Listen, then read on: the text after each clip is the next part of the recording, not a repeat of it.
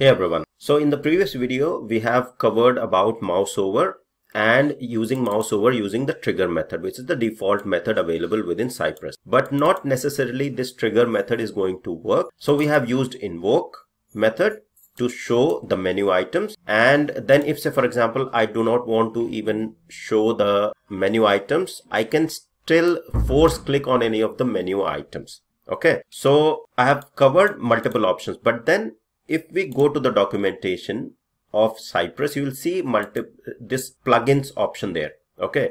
And if you scroll down, you will see that many community plugins are available in Cypress. All right.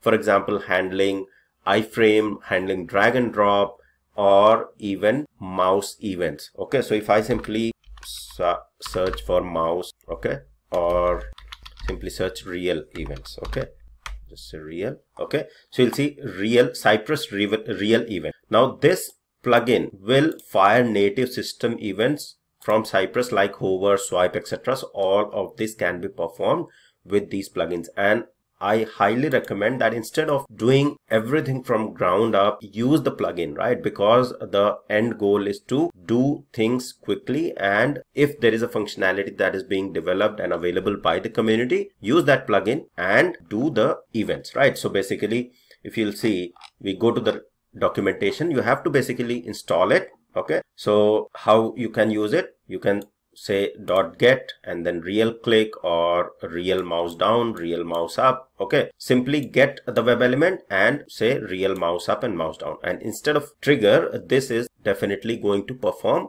much better. Okay. So what we have to do is first thing we have to install this package. Okay. So if you are using node package manager right which we have already used so i'll simply copy and install it okay? So let me go here and i'll simply close this app first and go to the terminal on terminal and simply so i'm already in this project right? So i'll simply install cypress real, real event. You'll see the installation has already started okay? And it has added one package all right? And this is installed now. So if we go to the documentation so we have already installed. Now simply what we have to do is we have to register new commands by adding this to the index file. All right. So we simply say import cypress real events. Okay. Or simply copy it and let me go to the project. So it is in the support folder. So simply we have to go to the command.js all right. And this is where we have to import right? So here they are saying in the index but now it is the latest version. So we have this command.js and this should be fine as well. Okay. And here we can simply say import cypress real event or we can say require cypress real event all right so we'll simply say require. So it will add that particular dependency. So require cypress real and i'll save it. So now this will be available. So if i have to go ahead and use it so i'll simply use this mouse over and paste it here and i'll say using real event so i'll rename this file. I'll say mouse over real events enter and let's uh, let us change few things here. Okay?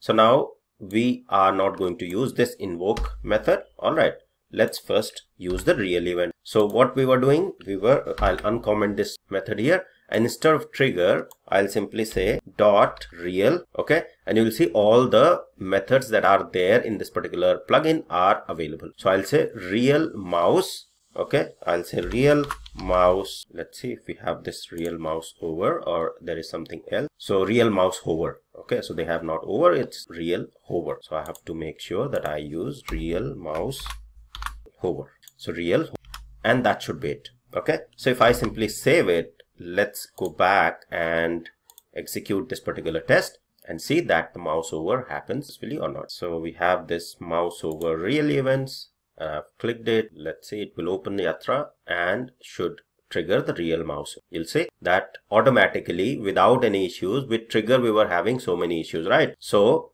this mouse over successfully happened and you will see with real with real hover i can easily get what exactly was not possible with the trigger method. Okay? So this is basically how you are going to use this particular play, uh, plugin or any sort of plugin right? And you will see if i go here you will see real hover real click real press real touch. All right.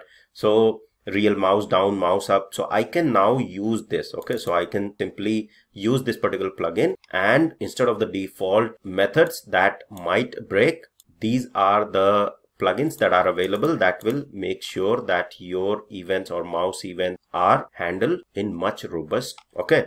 So this is about mouse over using the cypress Re real events plugin Alright, so that's all for this video and I'll be covering a lot more plugins and different options to handle certain elements. So in the real project, in your real time project, and I'm using the real applications, right? So this is the real application. If you are able to handle these sort of applications, any real time project will be of similar complexity. So you'll be absolutely fine in that particular sense. Okay. So that's all for this video. See you in the next. Thank you.